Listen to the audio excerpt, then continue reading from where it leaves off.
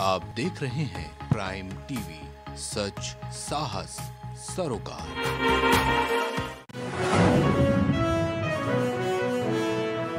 PM Modi ने vaccinators को पत्र लिखकर दी बधाई, कहा आने वाली पीढ़ी इस उपलब्धि पर करेगी गर्व।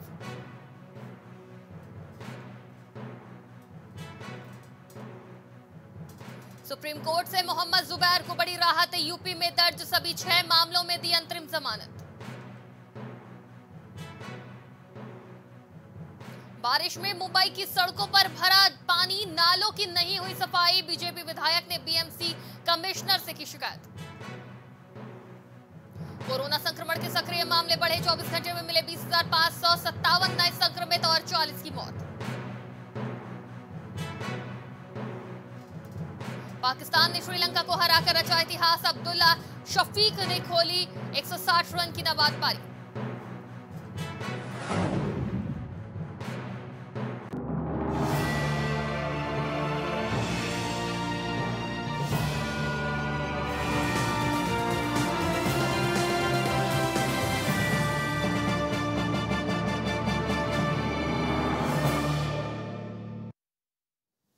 नमस्कार प्राइम टीवी में आपका स्वागत है। मैं हूँ आपके साथ शिखा मेहरोत्रा शुरुआत करते हैं प्राइम उत्तर प्रदेश की। प्रदेश में भारी उमस के बाद आज कई जिलों में झूम के बादल बरसे हैं और बारिश होने से मौसम सुहाना हो गया है। साथ ही भीषण गर्मी और उमस से लोगों को राहत मिली है। वहीं इस बारिश ने किसानों के चेहरे पर खुशी ला दी है। जगह जगह से बारिश की तस्वीरें सामने आ रही है। तस्वीरों में आप देख सकते हैं, लखनऊ, अयोध्या, देवरिया, गोंडा, सभी जगह आज बारिश हुई है, जहाँ भीषण गर्मी से लोगों को राहत मिली है। जहाँ देश के कई हिस्सों में भारी बारिश से लोग काफ़ी परेशान हैं तो वहीं कुछ हिस्सों में सूखे की समस्या का सामना भी कर रहे थे लोग। तो वहीं आज लखनऊ, अयोध्या, देवरिया, गोंडा समेत कई जिलों में बारिश हुई है, जिससे लोगों को गर्मी से राहत मिली है।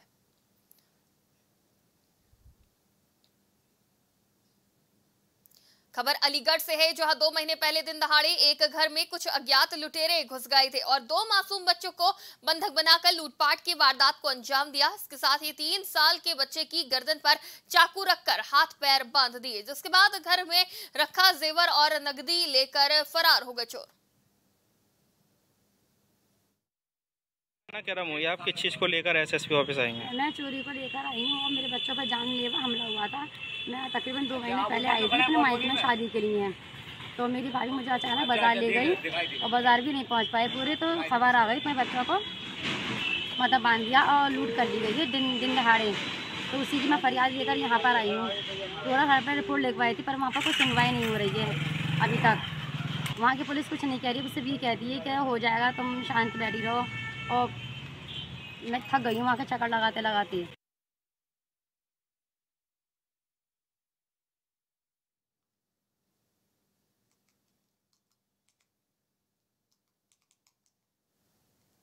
एक तरफ़ जहाँ प्रधानमंत्री नरेंद्र मोदी स्वच्छता अभियान को बढ़ावा दे रहे हैं और स्वच्छता के प्रति लोगों को जागरूक कर रहे हैं, वहीं दूसरी तरफ़ मिशन स्वच्छता अभियान का ग्रामीण क्षेत्रों में बुरा हाल है।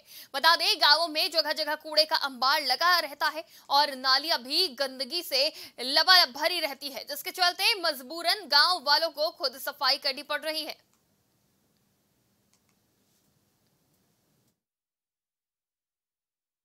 या कि कोई कभी नाली वाली साफ़ करने यहाँ आता नहीं है। अपने आप साफ़ करो मच्छर और सब लगते हैं गंदगी इतना हो जाती है तब अपने आप साफ़ करो। यहाँ पे कोई नाली साफ़ करने के लिए आता नहीं है। कभी आया कभी नहीं? कभी नहीं आया भैया। कभी नहीं आया। हम लोग इतने लड़के बच्चे हो गए हम लोग बूढ़े हो गए लेकिन कभी नाली साफ़ करने के लिए कभी नहीं कोई आया। नाली वाली हमारे यहाँ साफ़ नहीं होती है, ऐसे पड़ा रहता है। जब वो होता है तब आप लोग, हम ही सभी को उन्होंने उसका साफ़ किया जाता है।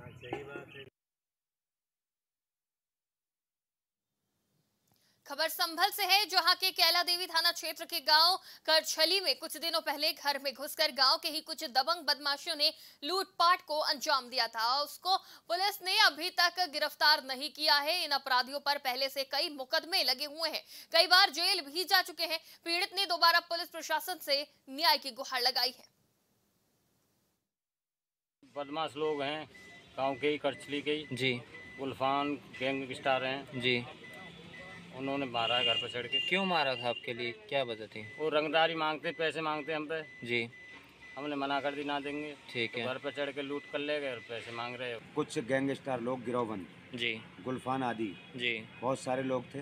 जी। मेरे घर पर चढ़ाए। हम्म। मेरे घर में लूटपाट की। मेरी माँ मेरे भाई मेरे पिताजी में और मेरी भाभी के बहुत चोट लगी। मेरे भैया के एडमिट हॉस्पिटल में इलाज चल रहा है। हम्म। लोगों से मुझे खतरा है जो मेरे घर परिवार के लिए और मेरे लिए मारने की धमकी दे रहे हैं। जी। जो इस केस में मेरे गवाह हैं। उनके लिए भी धमकियाँ दे रहे हैं। जी। मैं साहब अरेस्ट चाहता हूँ ये अरेस्ट कानूनी कार्रवाई हो खबर अलीगढ़ से है, जहाँ बीते दिन नगर निगम अलीगढ़ ने गृह कर बढ़ाने का फरमान जारी किया था। जिसके बाद पार्षद और मेयर एकजुट होकर नगर निगम की आलोचना करने लगे। वहीं मेयर ने नगर निगम से जनता के साथ खिलवाड़ न करने की अपील की थी, जिसको लेकर नगर निगम के अधिकारियों ने आश्वासन देकर टाल दिया। नगर निगम वालों ने जो चलाया है, वो तो सरकार का हवाला देते हैं। लेकिन जिस तरह बोर्ड पब्लिक में पड़ा है, कम से कम मुझ जैसा आदमी और तमाम लोग एक राय हैं कि ये कम होना चाहिए, पढ़ना नहीं चाहिए। सबसे पहले मैं स्टेप में नहीं लिया और मैंने कहा ये गलत है और आर्टिकल एक 213 है, उसके तहत भी ये गलत है। खबर उन्नाव से है, जहाँ बोहर पहर से ही ओवरलोडिंग अवैध पार्किंग के खिलाफ प्रशासन का चाबुक चला है। सिटी मजिस्ट्रेट, सीओ के नेतृत्व में खनिज विभाग की टीम ने हाईवे पर ओवरलोडिंग के खिलाफ अभियान चलाया और ओवरलोडिंग गाड़ियाँ कागजों में गड़बड़ी और गाड़ी नंबर प्लेट में हेराफेरी वाली गाड़ियों को प्रशासन ने सील कर दिया है और कुछ ट्रकों का चालान किया गया। तो वहीं प्रशासन की कार्रवाई को देखते हुए कुछ चालक फरार हो गए और मोरंग माफिया बेचने हैं। मैं सिटी मजिस्ट्रेट मैडम साहब प्रभारी कोतवाली राजेश पाठक जी, सब लोगों के साथ एक संयुक्त कार्रवाई की गई जिसमें मरहला चौराहा और आज़ाद मार्ग के बीच लगभग सत्रह गाड़ियों को सी की गई या चालान की गई। और ऐसे अभियान आगे भी चलाया जो समय समय पर हम चलाते थे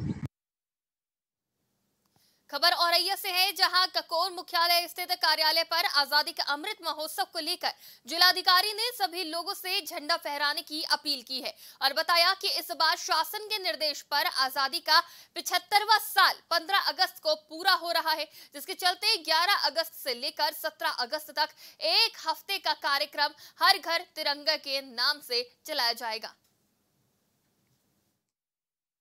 इस बार शासन के निर्देश हैं कि आज़ादी का पचहत्तरवां वर्ष जो 15 अगस्त को पूर्ण हो रहा है, उसमें एक हफ़्ते का कार्यक्रम 11 अगस्त से लेकर 17 अगस्त तक। हर घर तिरंगा के नाम से चलाया जाएगा, जिसमें हम सभी से अनुरोध करेंगे अपील है कि हर नागरिक अपने मकान पे, वो आवासीय मकान हो, व्यावसायिक हो, औद्योगिक प्रतिष्ठान हो, या कोई भी एक्टिविटी हो, उसमें शैक्षिक संस्थान चल रहा हो तो वहाँ पर एक अदद झंडा अवश्य फहराया जाना झंडे का एक मानक है, उसका कलर सब लोग जानते हैं। पहले ऊपर केसरिया, फिर बीच में सफ़ेद, नीचे ग्रीन और पीली वो भारत चक्र होना चाहिए बीच में।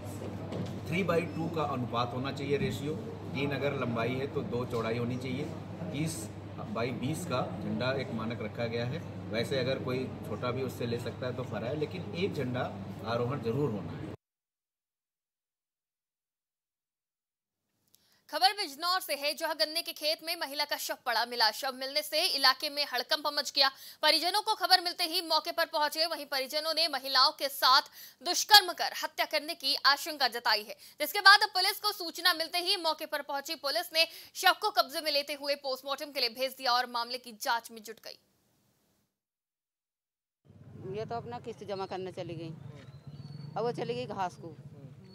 अब ये, ये पता नहीं सवेरा आ जाऊँगी मैं कुट्टी उट्टी काटूँगी ढोरों को पानी उन्हें पिलाऊँगी नहाऊँगी और गाँव के पास में थे।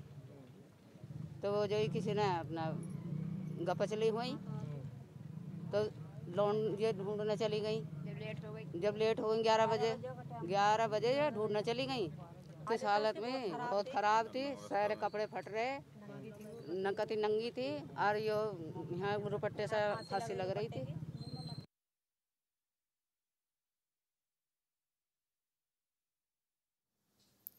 संभल में आधे घंटे हुई बरसात में भयंकर जल भराव की तस्वीरें सामने आई हैं। स्कूल के समय हुई बरसात के बाद जहाँ स्कूली बच्चे और उनके गार्जियन गंदे पानी के बीच से होकर गुजरने को मजबूर हैं तो वहीं आधे घंटे की बरसात में नगर पंचायत की पोल खोल दी है।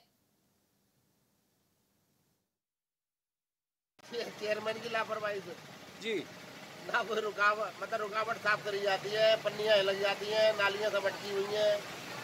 जाल जितने भी हैं वो सब उधर उधर सब पन्नियाँ लग जाती हैं बोतलें तो पन, पन्नियों पर तो रोक लगाई हुई है। बहुत पन्नियाँ भी मेरे सामने एक ट्रॉली पूरा बह गया सब इसमें।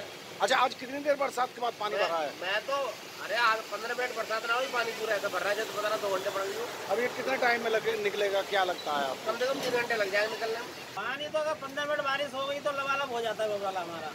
जी। ये सबसे बड़ी सबसे बड़ी कमी जो है वो चेयरमैन की होती है ना कोई नाली को देखना है ना कोई नाली बनवानी है ना कोई नाली की मतलब पैसा चाहिए बस पैसा कैसा होता रहे काम हो या ना हो। तो आप लोग कभी शिकायत करते हैं संबंध में? शिकायत की शिकायत तो कोई सुनवाई नहीं है। कोई सुनवाई नहीं। सब भ्रष्ट बैठे हैं। यहाँ बलिया से है, जहाँ बारिश न होने की वजह से किसानों की धान की बेहन खेतों में सूखने लगी है। खेतों में बड़ी बड़ी दरारें भी दिखाई दे रही हैं। वहीं अगर बात करें सरकारी ट्यूबवेल और नहरों की तो बिजली की सही वोल्टेज नहीं आने की वजह से सरकारी मोटर भी नहीं चल पा रही है। बलिया में अभी औसत से कम वर्षा हुई है और जो हमारा कृषि विभाग है, उसको सचेत कर दिया गया है। जिसको भी जिस प्रकार की बीज की आवश्यकता है, उसको वो तत्काल रूप से उपलब्ध कराए जा रहे हैं और मौसम पे लगातार हम लोग की नज़र बनी हुई है।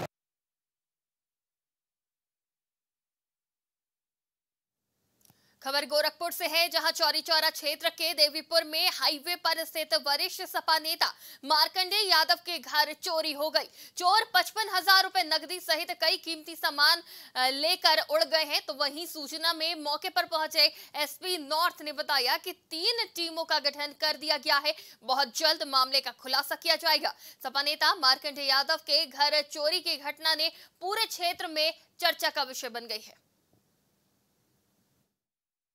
ये कल रात में करीब 10 से 11 बजे के बीच में मार्कंडेय यादव के घर चोरी हुई है। उन्होंने थाने पर ये सूचना करीब साढ़े ग्यारह बजे रात में दी है कि उनके घर में उनके कमरे का जिसमें ताला बंद था, ताला तोड़ के और अलमारी का ताला तोड़ के राइफल और पचपन हज़ार रुपये चोरी हो गए हैं। इस सूचना पर थाने पर एफ़ दर्ज की गई है और तीन टीमें बना करके उनके अनावरण का प्रयास किया जा रहा है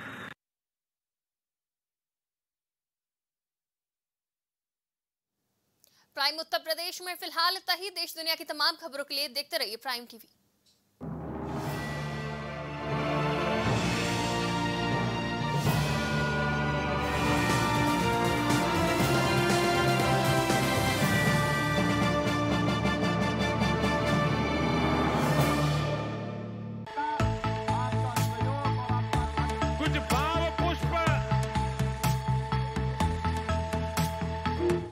देख रहे हैं प्राइम टीवी सच साहस सरोकार।